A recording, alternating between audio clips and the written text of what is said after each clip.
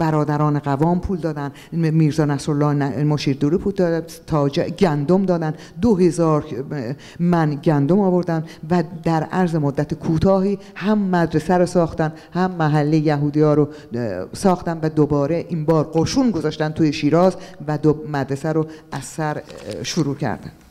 شعبه یزد رو 1910 درست کردن. شعبه یزد مدتی چون که دور از یهودی زیاد توی یزد نبود مدت کار کرد و تعطیل شد دوباره سال توی سرکان رو 1906 درست کردن. کاشان رو 1911 درست کردن و, و دوره اما تا دوره رضا که 70 درصد درس ها به زبان فرانسه بود و برنامهشون همون برنامه درس های آلیانس بود دوره رضا آمدن وادار کردن به اینا که زبان فارسی زبان اول باشه. بنابراین آلیانس اسرائیلی هم ناگزیر شد که زبان فارسی رو در درجه اول بذاره.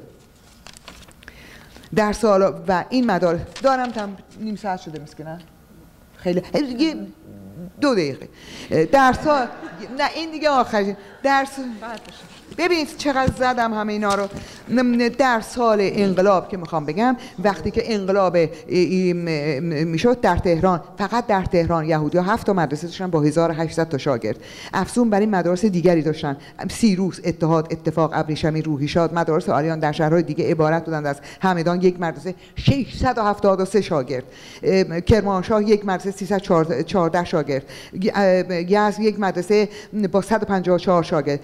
بروجه یک مدرسه 145 شاگرد. نیا خلاصه و از 600 و بعد در همدان از 654 تا شاگرد تنها 173 تا یهودی بودن. یعنی مسلمانان در بست پذیرفتن که به این مدارس برن. اما متاسفانه رفته رفته مهاجرت شروع شد بعد از انقلاب و یهودیان از ایران رفتن و با اینکه بزرگترین اقلیت مذهبی ایران به شمار می رفتن ولیکن و فکر می کنم که از سیب طوری که میگن 60 هزار تا یهودی بیشتر در ایران باقی نمونده. در هر بار هر بار که یهودیان و اقلیت های مذهبی از ایران رفتن بخشی از فرهنگ خودشونو بخشی از فرهنگ ایرانم با از ایران رخت بر بست و رفت. بنابراین آینده ایران آینده هر ایرانی به هر کیشی که باشه اینه برابری اعتقاد برابری حقوق با یهودیان و دیگر اقلیت های مذهبی. بنا, دموکراسی اینجا ایران از اینجا آغاز میشه. من فقط اجازه میدم یه سپاسگزاری کنم از این خانم سرشار که یه بارم بهش بد, بد قولی کردم یه جایی نیومدم. خانم سرشار اگه تو این سالن هستی من از شما پوزش می‌خوام. پوزش از میهمان بخشش از میزبان. و یکی دیگه هم بگم که مشوق من در این سفر که آمدم واقعا و که چون سخنرانی هیچ نمیرم خواهر بنده خانم ماهرخ ناطقه که با بچهش اینجا نشسته و در سندیگو هم یه دونه کتابخونه درست کرده. تو رو خدا کتاب خواهتون رو برای این کتاب کتابخانه بفرستین. مرسی درود بر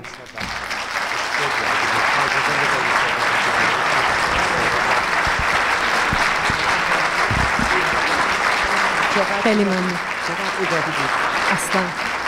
شما اینقدر رعایت وقت کردیم من اصلا به خودم اجازه ندادم به شما وارنینگ بدم.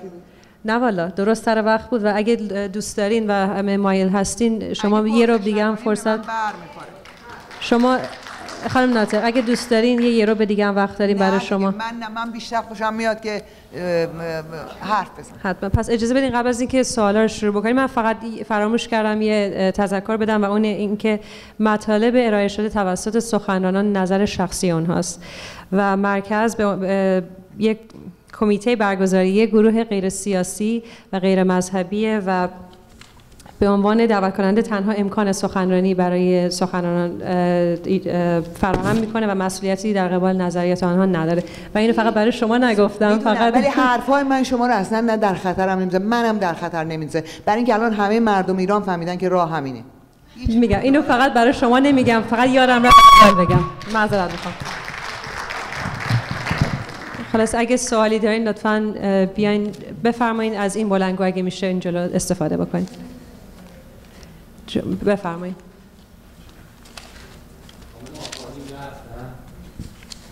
من یه سوال برای خانم آفاری و شما دارم.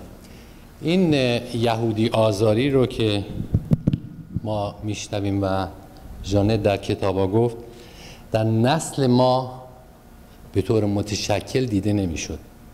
من در یک شهرستان بزرگ شدم و با دکتر نعیمم صحبت هم در تهران بود این متشکل به طور متشکل شده که فرمودین یا گفته شد من ندیدم.